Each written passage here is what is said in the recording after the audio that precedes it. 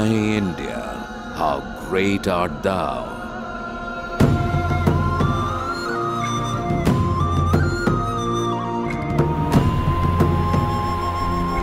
Vast enough to embrace us all. Snow-capped Himalayas crown thee. Oceans merge at thy feet.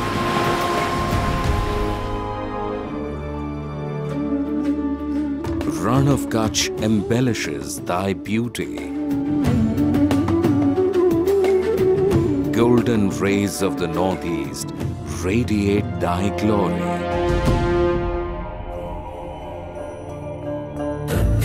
A vast and diverse nation art thou, land of more than a billion people.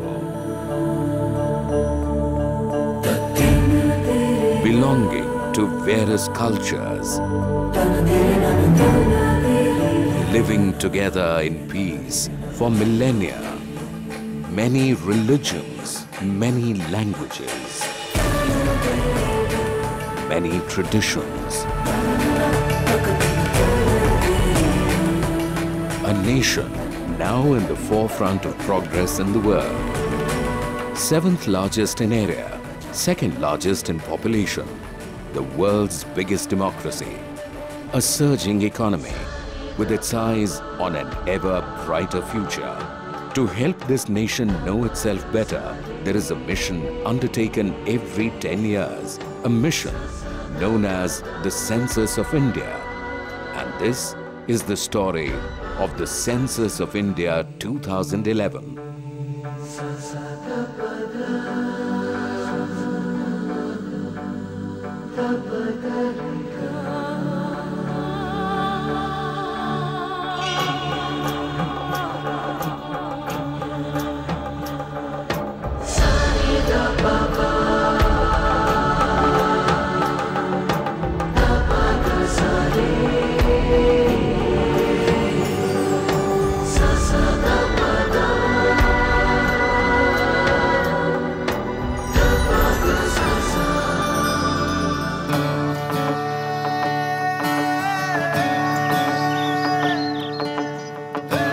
Census of India is an exercise of counting each and every person residing within the country and at the same time collecting information which when compiled gives a complete snapshot of the demographic, social and economic profile of the country.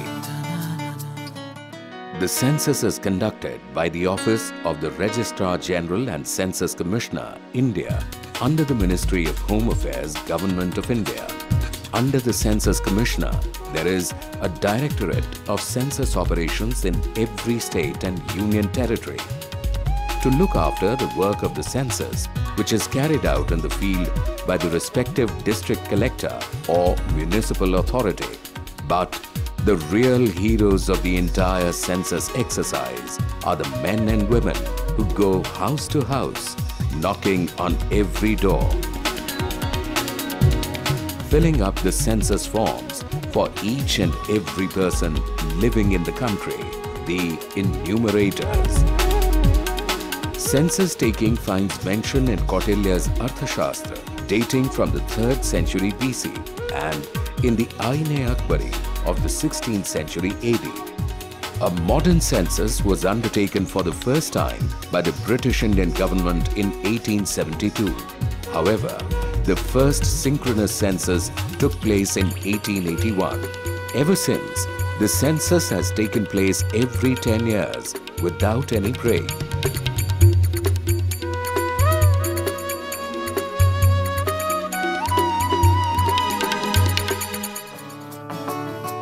Even during the non-cooperation movement in 1921, Gandhiji supported the ongoing census exercise.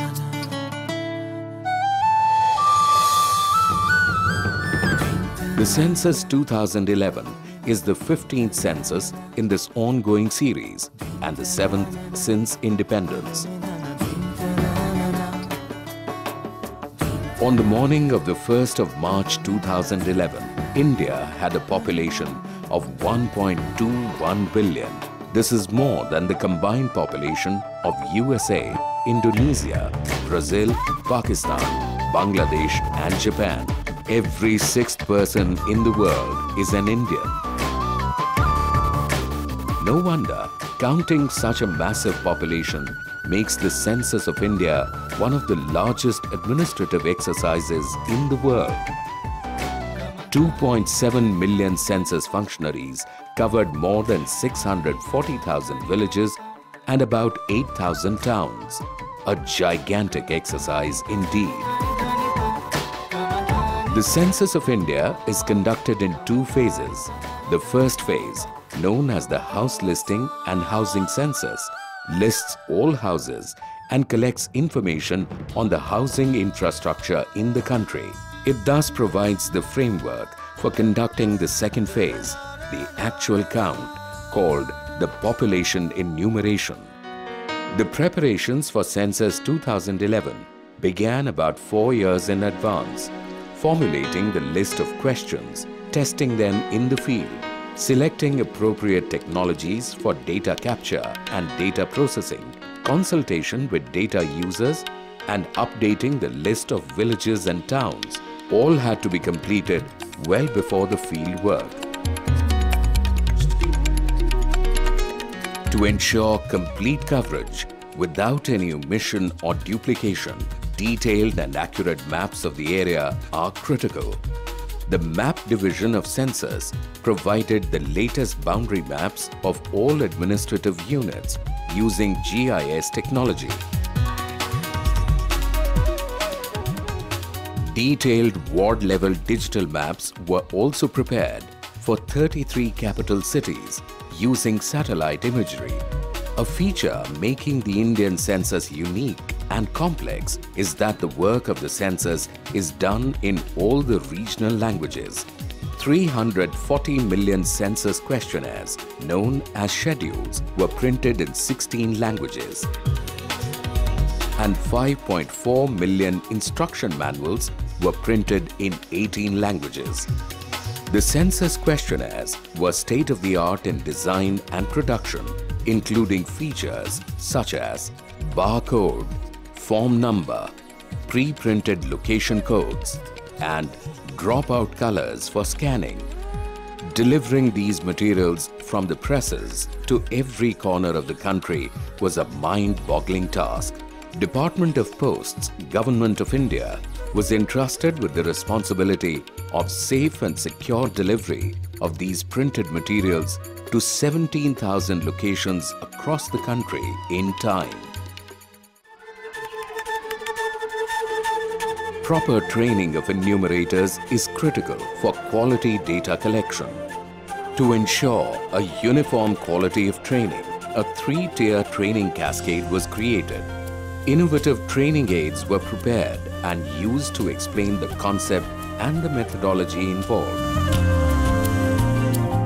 Special modules were created for sensitizing the enumerators regarding gender and disability. A special program, Census in School, was launched to sensitize the school students on census.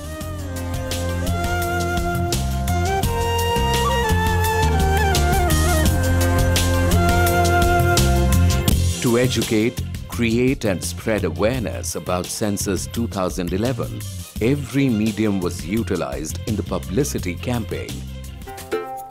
Mass media, public outreach, and the digital media were extensively used in the census publicity campaign.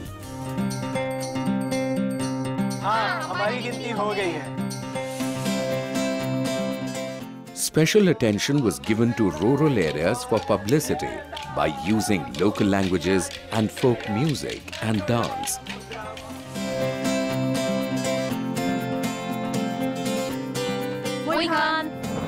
हमारी भी गिनती हुई है हाँ साडी भी इसकी भी अपना गिनती हो गई है अगर महिलाएँ किसी भी तरह के आर्थिक काम में भाग लेती हैं, तो उनकी भी गिनती काम करने वालों में होगी The census mascot, a female enumerator, featured in all the advertisements and gave an instantly recognizable face to the census process. Celebrities from all states and all walks of life gladly contributed to publicizing the census. The census even featured in a popular TV serial. फरवरी 9 से फरवरी 28 का दौरान होने वाली है जनगणना के लिए प्रगणक को देंगे हम सही जानकारी आप भी दीजिए A special measure for publicity was the release of a postage stamp by the Honorable President of India depicting the census designed by the Department of Posts. Having completed all the preparatory activities in each phase, the team of Census 2011 was ready to start the field operations. This involved visiting each and every household at their doorstep and carrying out the actual count. As is traditional, each phase of the census work was inaugurated for the nation with the ceremonial enumeration of the Honorable President of India and for each state by the enumeration of the Governor, Chief Minister and other topmost dignitaries. I would like to appeal to all my fellow citizens to please take part in the census 2011.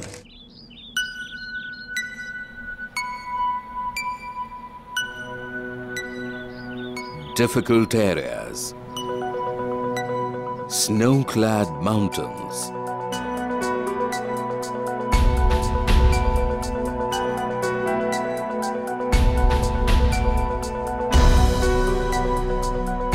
stretches of open sea,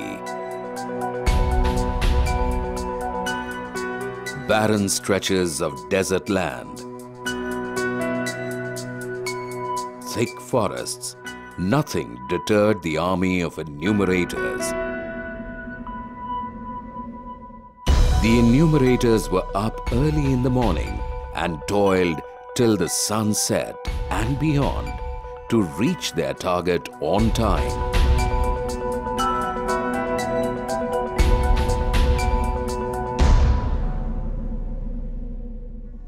आपका वैसे क्या नाम पूरा राजेश कुमार मक्खन सिंह तो बाद हो रहे हैं बच्चा को नहीं बस दो हाँ जी The enumerators walked the length and breadth of India and travelled in all modes of transport available, used all their might to make the census a complete and comprehensive one. शादी हो गई। बच्चा है।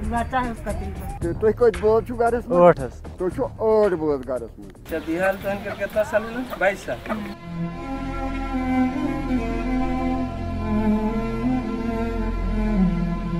These are the eyes whose tears have run dry. They are abandoned and forgotten by their children, relatives, and friends. They live in old age homes. Through the census, these lonely people became the part of the great Indian family.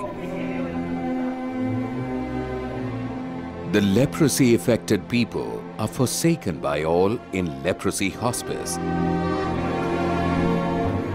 The enumerators brought down the barriers, sat down and spoke with them.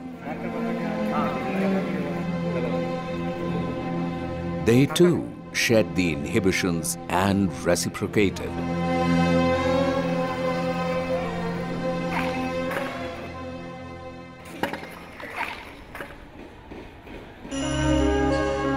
Railway stations, orphanages, shelter homes, red light areas, or wherever one may be, great importance is given to each individual in the census. Novelty of Census 2011 was that for the first time, the third gender had been enlisted as a separate category. These people are a part of our society since long, but they were not enlisted until the last census. The commitment and dedication of the enumerators is praiseworthy.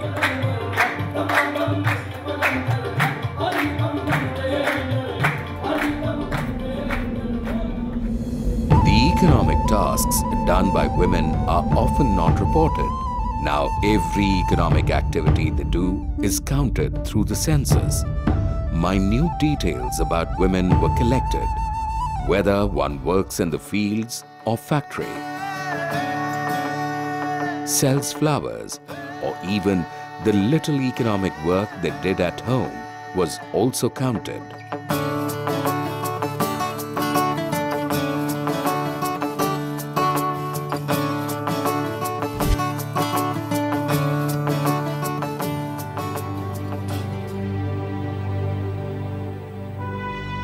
armed forces, the pride of our nation. How could they be left out? Special arrangements were made to train military and paramilitary personnel in conducting census.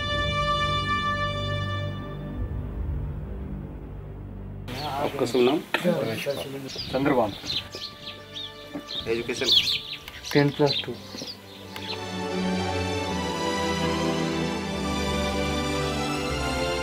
नमस्ते बाबा जी नमस्ते आपका नाम क्या है? फतेह मोहम्मद फतेह मोहम्मद है। आपका जन्म कब हुआ? पता कुछ? सन सैतालीस में। सन सैतालीस और कितने बच्चे तुम्हारे ऐसे? सात बच्चे तीन कुड़ियाँ चार मुंडे।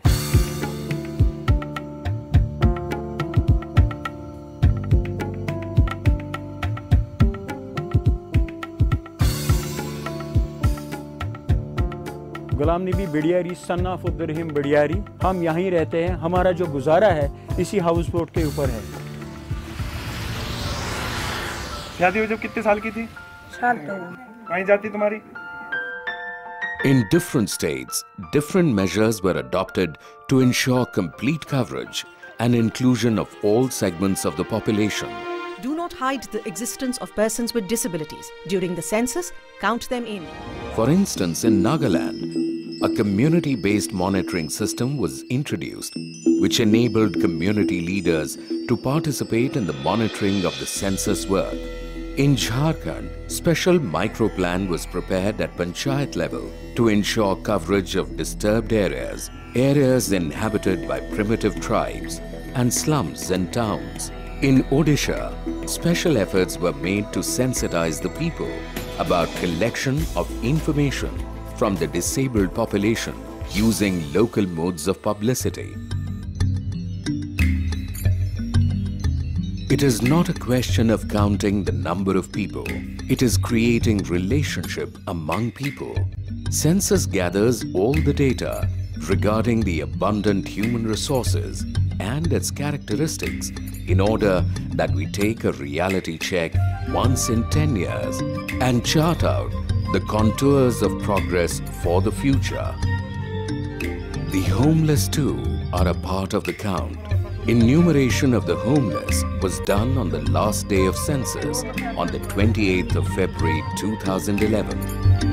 A revision round was conducted from 1st to 5th March 2011. This was to account for the births and deaths up to the census moment of 00 hours on the 1st of March 2011.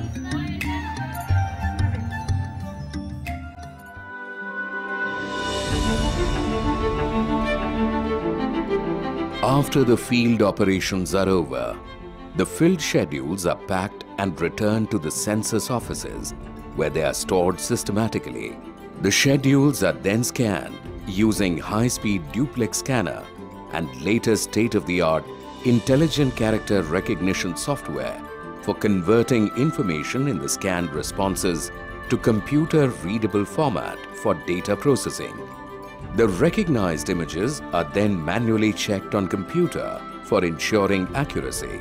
Adoption of the latest technology in data capture and data processing has helped in reducing the time in releasing the final results substantially. How does India know what India needs? How are plans made to meet those needs? How are ongoing programs evaluated? How are new policies formulated? The answers to these and many more questions lie in the census.